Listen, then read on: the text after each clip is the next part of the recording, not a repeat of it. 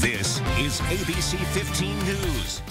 Before you head out for some Black Friday shopping, there are a few toys that you might want to avoid buying, and uh, just because they're too noisy, Chris. Well, before you head out to holiday shop for the kids, one group is warning about toys that are just too dangerous.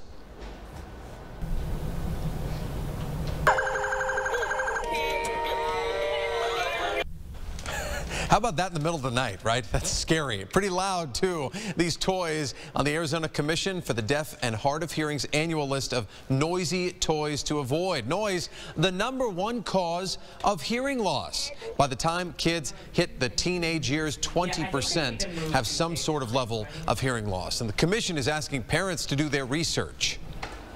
And we're not saying that don't buy those toys, but be aware when you are shopping, be aware of what, you know, if, if it includes some sound level, you might want to test that.